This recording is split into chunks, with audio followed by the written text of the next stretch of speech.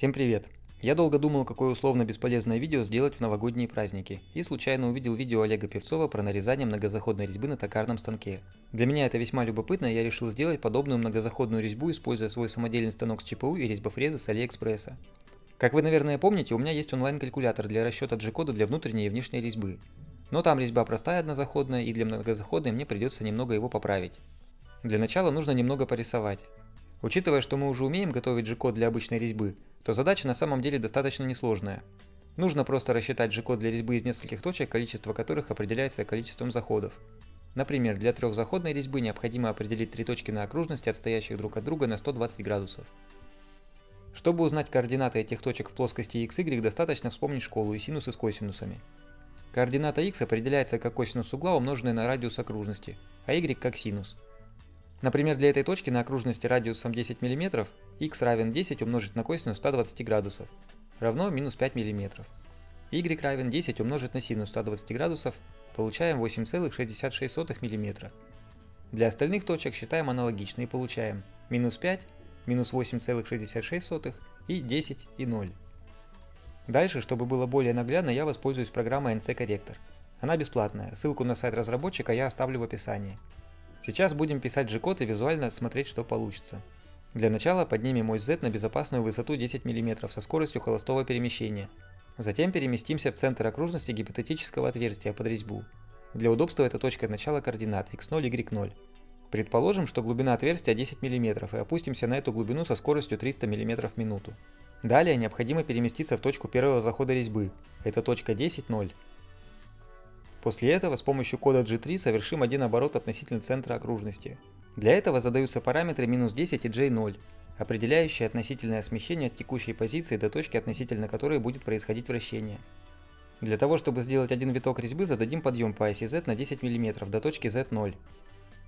Получился один из трех витков этой трехзаходной резьбы. Далее переместимся в точку 0,0 и снова опустимся на 10 мм, чтобы сделать виток резьбы с заходом из второй точки. Перемещаемся в эту точку. Минус 5 и 8,66. Снова делаем один оборот, только параметры i и j, определяющие центр вращения для этой точки, уже будут другими. i равен 5, j равен минус 8,66. По оси z также поднимаемся в точку 0. Получился еще один виток с заходом из второй точки. С третьим заходом все аналогично, только координаты точки третьего захода и параметры i и j будут опять немного другими. В итоге получилась траектория для нарезания гипотетической трехзаходной резьбы. Естественно, радиус инструмента не учитывался. Я немного переписал калькулятор расчета резьб и теперь добавлен параметр количества заходов. По умолчанию он равен единице. А теперь будем проводить эксперимент и посмотрим, как смоделированный процесс выглядит в реальности. Резьба будет пятизаходной с диаметром 8 мм и шагом 1,25 мм. В качестве подопытного буду использовать квадратный латунный пруток 17 на 17 для этого эксперимента как раз пригодится вырез в столе. Хорошо, что я его до сих пор не заменил. Перед тем, как начать делать резьбу, преобразуем большую часть металла в стружку, и останется лишь стержень диаметром 8 мм, а если быть точнее 7,8 мм.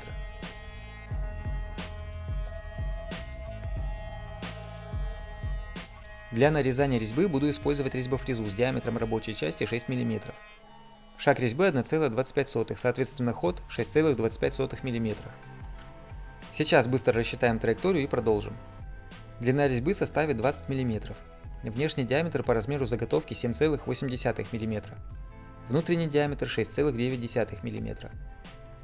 Количество заходов я сделаю 5, думаю для эксперимента этого достаточно. Для того, чтобы убедиться, что все в порядке, проверяю траекторию в программе NC Corrector.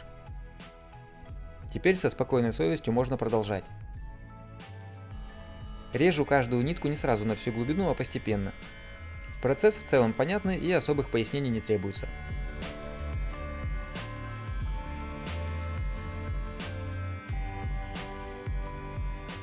Не удивляйтесь, что картинка немного меняет цвет, это фреймлапс с телефона.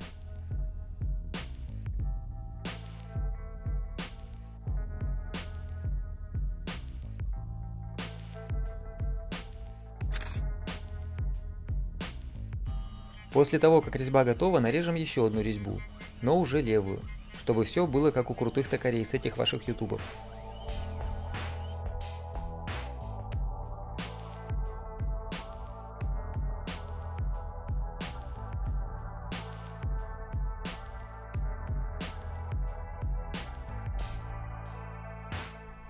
Раз уж пошла такая пьянка, то придется сделать и нормальную фаску. Для этого буду использовать специальную фрезу, ссылку на нее оставлю в описании.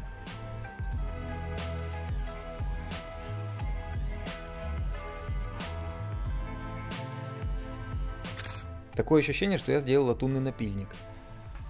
Пока все идет по плану. С этим болтом пора заканчивать, но сначала я отрежу его от заготовки, чтобы потом придать ему нужный вид.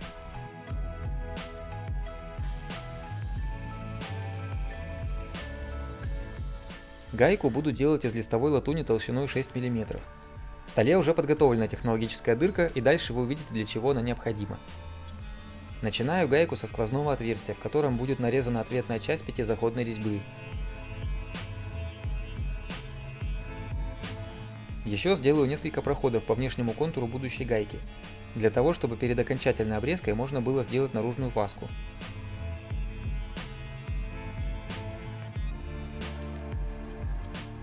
Процесс нарезания внутренней резьбы не сильно занимательный, но я все равно его покажу.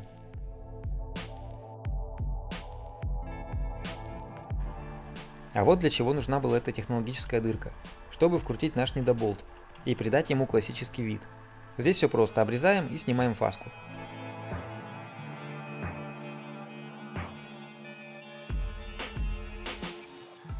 Фаску я снимаю не по контуру шестигранника, а по описанной вокруг него окружности, чтобы фаска имела вид как после токарного станка.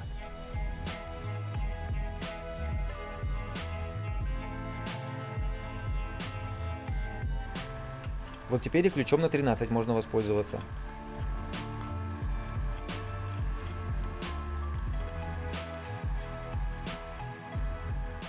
Болт готов и можно возвращаться к работе над гайкой. Необходимо сделать внутреннюю и внешние фаски, а затем вырезать гайку по контуру.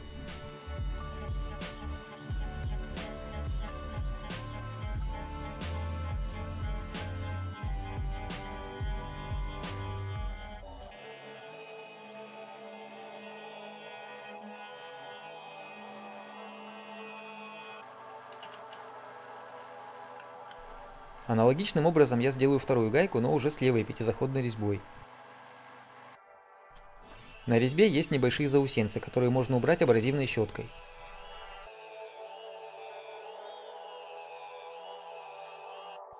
А теперь собственные испытания. Сначала накрутим левую гайку. Двигается достаточно легко. Следом правая гайка. Можно сказать, что поставленная задача выполнена. Получилось изделие под рабочим названием ходовой болт с двунаправленной пятизаходной резьбой. На всякий случай напомню, что изделие бесполезное, но весьма занятное. В качестве практического применения этой технологии я вижу нанесение некого подобия накатки на невысокие цилиндрические тела. Ссылки на страничку с расчетами и фреза я оставлю в описании. А на сегодня у меня все. Всем спасибо и пока.